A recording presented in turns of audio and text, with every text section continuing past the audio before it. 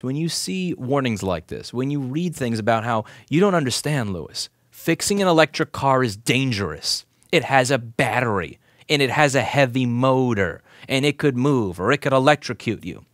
Yeah, I mean, if you're working on your car, you could burn yourself. There's stuff in there that's like four or 500 degrees that could be boiling, that could burn you. There is liquid that runs through an internal combustion engine vehicle. You may have heard of it. It's called gasoline. It is flammable, it goes on fire, and it is all over this car, and it runs through it, and you can open your hood just fine. And you may think, well, Louis, listen, it's a car. You have to worry about safety. No, you know, this is everywhere. Because when we talk about something like replacing a battery in a smartphone, exact same argument gets used. We're not talking about 7,000 cells. We are talking about one cell. When we're talking about replacing the screen on a laptop, the exact same excuses get used. What do you hear said by every single lobbyist? Security, safety. You can't let independents do it because of security, safety. We can't let the end user fix their product because security, safety, security, safety, security, safety. If you think it is just about cars, you are missing the point. These exact same arguments are getting used nowadays where we would have never used them 30 or 50 years ago on items where the only way that you are going to hurt yourself working on this is if you beat yourself over the head with it. Come on. Hey, everybody. How's it going? I hope you're having a great day. So today I'd like to read an article that is about a screenshot that somebody had sent me, and I thought that it really kind of demonstrates where the culture is shifting with regards to repairability, but also risk tolerance. There's a lot I want to talk about in this article. So this says, how do I open the Mercedes EQS hood? The Mercedes EQS is a high-end electric vehicle, because again, it's going to be quite a while before you actually start seeing practical, affordable electric vehicles. Oh, Thank you very much. It's very kind of you. I'm actually recording. I'm not even streaming, and that just showed up on my screen. That's, I don't know. I don't think I deserve that, but thank you. Thank you. So it says, even though Mercedes says you can't open the hood on an EQS, it's not impossible. A photo on Reddit's asshole design subreddit recently got a lot of attention showing Mercedes' EQS infotainment system warning screen titled Notes in the Hood. Only the specialist personnel of a qualified repair workshop should open the hood. Understandable. Access by the customer is not permitted. Not understandable. To open the hood, consult a qualified specialist workshop. And obviously, the first thing that I'm thinking, and the first thing that you're probably thinking when you read this, is who the fuck are you to tell me whether or not I can open up something that I purchased? If I spend $10,000, $50,000, $100,000, $150,000 on your product, you bet your ass that you don't have the right to tell me whether or not I can open it or service it, F you. That's my immediate thought there. So it continues, and it says the warning screen then lists five other sub warnings informing the reader there's a risk of accident and injury with the Mercedes EQS's hood open. Furthermore, it says only the specialist personnel of a qualified specialist workshop should open the hood. Access by the customer is not permitted. The Reddit thread title This new Mercedes EQS that locks you out from opening the hood, and that warning makes it seem like it's literally impossible for Mercedes EQS owners to open the hood. It's like Mercedes is locking out customers on purpose. So, is it possible for anyone, including Mercedes EQS owners, to open the hood? Yes, anyone can open the hood to a Mercedes EQS. According to a Mercedes technician, and I quote, the lever to open the hood is still down there. Mercedes put a plastic cover over the hood release. Anyone can pull the cover out and open the hood if they really wanted to, but there's no gas struts or prop, so something has to be jammed in there to prop the hood up. Why Mercedes legally has to warn you to not open the hood of a Mercedes EQS and why you probably shouldn't. If you didn't already realize, the Mercedes EQS is an electric vehicle. Like the Tesla Model S, the EQS comes in single and dual motor configurations. While other EV manufacturers make the space where an engine normally would be into a frunk, Mercedes filled the EQS with a pre-filter housing for its HEPA filtration unit. Although regular people and owners are instructed not to use the hood, there are practical reasons like the Mercedes EQS even has a hood in the first place. Despite the electric motor and battery pack technically being lifetime units, it doesn't make them immune to repairs and troubleshooting as needed. If repairs or maintenance by qualified technicians is needed, access from up top via the hood is there. Redditor Ryston77 makes it doubly clear, quote, It's an all-electric car. Nothing under the hood is user serviceable without special equipment to place the high-voltage system into servicing mode. Okay, I mean, I, I think that the first issue there is that there's special equipment that's not going to be made available to you in your garage to be able to place the vehicle into servicing mode. I mean, th there is a risk of harm or injury when you open up the hood of your own car. I was doing a live stream where I was dri- I was driving a piece of crap Nissan Sentra. It was a rental unit. It was like the third or fourth. The first one had an issue with the steering column. Second one I think had an issue where it just started smoking on the highway. The third one had a check engine light, and the fourth one I think had an issue where it was constantly overheating. So on the fourth one, somebody said, you know, check the coolant. But by the way, you know, somebody just reminded me because they figured I was new to cars. Don't don't open this up. Don't mess with the coolant while the engine is still boiling. You could burn yourself or do something horrible. It's very possible when opening the hood of your internal combustion engine vehicle to hurt yourself. Very possible if you don't know what you're doing to hurt yourself. We don't tell people you are not permitted to open the hood. We may say something along the lines of, listen, you may not want to open the hood unless you're an expert, unless you know what we're doing. We're not legally liable. But you are not permitted to open the hood is not language that I think we have culturally come to accept in, in our society. But it's kind of the way the Overton window is shifting with regards to risk being risk averse with any sort of danger. And it's something that I think is important to mention here. So he says washer fluid is added at the front left fender. There are no fluids under the hood for the owner to check, just the two AC three phase motors and the high voltage inverter converters, aka the shit that makes the car go, which you may want to service outside of a Mercedes dealership at some point, if you, if you know what I'm saying. This is also a very expensive luxury model. Most owners do not self service. Again, sure, fine. Most owners do not self service. You are not permitted to open the hood no. That's why the hood is not user operable. Here's another warning Mercedes gives you in their owner's manual. As the manual hints at, there's more harm than good that comes from non professionals and owners opening the hood for whatever reason. And again, is this something that cannot be said of internal combustion engine vehicles? Again, I love servicing my electric bike. I work on my electric bike all the time. I've had one issue where I bought batteries from Unit Pack Power, which were bullshit because they're a garbage battery company. Besides that, Every single electric bike I've built has been beautiful. I love working on them. I love servicing them. But I don't know anything about internal combustion engines. I am completely ignorant when it comes to how a internal combustion engine car works. Therefore, I don't open up the hood because there actually is a good chance of me hurting myself, burning myself, or fucking something up because I don't understand it.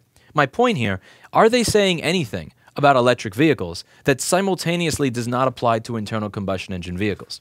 I don't think they are the idea that if you are ignorant and not knowledgeable, that you could hurt yourself or break the car by opening the hood, I think is just as true for an internal combustion engine car as it is for an electric vehicle. I guarantee you, you give me a wrench, a screwdriver, and some tools and tell me to open up and figure out what's wrong with an ICE car, I will fuck that shit up good because I don't know what I'm doing. And it's the same way that if a genius opens up a MacBook and tries to do a board repair, listen, it, it's going to end poorly because it's not what they do. What drives me nuts with all of this is how you can just kind of see the Overton window for how risk averse we are, just shifting and shifting and shifting and shifting further away from freedom with each passing generation. Like, yeah, I mean, you know, again, I, have used 84 volt bike batteries. Again, obviously, the batteries on my bike are not as strong as the batteries in a car. But you know, I have tools that I use to disconnect everything so that I don't have power going through the motor while I'm working on it, so I don't shock myself. And these are these are basic precautions I would take with this. And if you include a manual that says here's how you do it, and you make the tools available for somebody to be able to disconnect this so that they could do something like fix the motor of their car in their garage, I think that you would see less, just a little bit less of a cultural war when it comes to electric vehicles. Because I'll be honest with you, I am a big electric motor and electric vehicle fanboy. Whether it's an electric scooter, whether it's an electric bike, whether it's an electric car, I have fun with them all. Ford Mustang Mach-E, Tesla Model 3, uh, you know, a Sabvoton controller with a Cyclone motor, or a Phase Runner with a BBS HD and a Bafang bike. I love messing with electric motors. I think they're incredibly fun. They're exciting. They're cool to work on. On my live channel, there's a couple of streams from one or two years ago where I opened up a motor that wasn't working. I greased everything up. I removed all the dirt. I put it back together. It spun. It's incredible fun, and I enjoy doing it. And the thing that drives me the craziest about all of this is how the way the Overton window has shifted away from freedom and more towards being risk averse so that we can, quote, protect your safety What's happening here is they are taking advantage of the fact that we are less risk averse now than we were 30 or 40 and 50 years ago in order to make more money and in order to just continue moving us towards a more disposable society. I love electric motors because I know about them. I understand that they are inher- they're very simple and they're also very easy to repair. In contrast to an internal combustion engine vehicle. I'm not saying internal combustion vehicle engines are inherently bad. That's not what I'm saying. What I'm saying is you have less parts, it is simpler, it is easier to work on. And what bothers me is that when you have stuff like this, when you see how Tesla treats customers, when you see these Mercedes, uh, you know, these pop-up screens telling you you're not permitted to open the hood of your vehicle, what they're doing is they're putting the message out there that electric vehicles are inherently less serviceable because they are electric.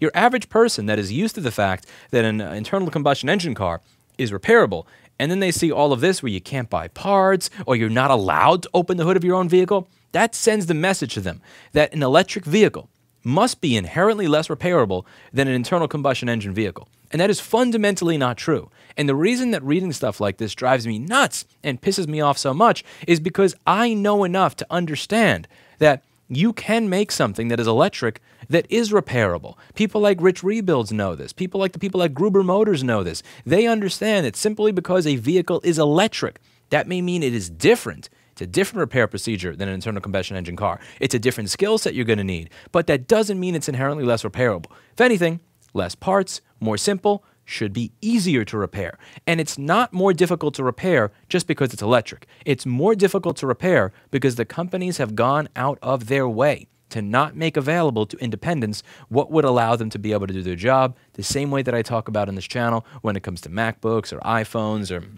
medical equipment or anything else. I remember when I was younger. I, I just rem- it's crazy because I don't think that most parents would ever consider allowing this today. And when I talk to people about it, they look at me like I'm crazy. But um, like, my dad tells me about this too. You know, when he was a kid, you know, he, when he was done with his homework and all the stuff he had to do, and he did all his chores, he was allowed to just go outside, just go outside. In the 50s, in the 60s, in the Bronx, during the 50s and during the 60s, in the South Bronx, my dad just went outside. And you know, again, he he would play football or stickball or tag or you know boxing or whatever the hell else with the other kids, and then he would come back in time for dinner around seven eight o'clock at night. You didn't have cell phones back then. You didn't have beepers in the 50s and 60s or any of that stuff. They trusted him that he would come back. And that's just something considered insane now. And I was allowed to do the same thing. You know, I, I, would do my homework, get everything done, leave my leave my house at four o'clock, and my dad would just say, you know, be back in time for dinner. Sometimes I come back at seven or eight or nine o'clock. He just trusted that I was going to come back. It wasn't this. We didn't live in this sort of society. It was like, oh my God, are you? Uh, who's watching you? Where will you be? I want you to have this beeper or this cell phone on you. I need to know where you are at all times. I need to know what you're doing. I had a little bit of freedom, and I noticed that. Again, this is kind of unrelated to this particular topic. That when I talk about that, there are people that say, there's no way in hell I would let that happen. There's no way. What if there's a predator? What if there's a criminal? What if there's this? What if there's that? Which is really interesting to me because 30 to 50 or 70 years ago, there was actually a higher crime rate than there was today. All segments of society, I mean, even I think COVID is, is a decent example of this, of how the window has kind of shifted of, to valuing being more risk averse over freedom. It's shifting in every way possible.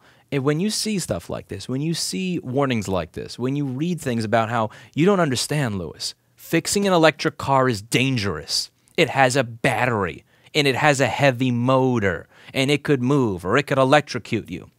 Yeah, I mean, if you're working on your car, you could burn yourself. There's stuff in there that's like four or 500 degrees that could be boiling, that could burn you.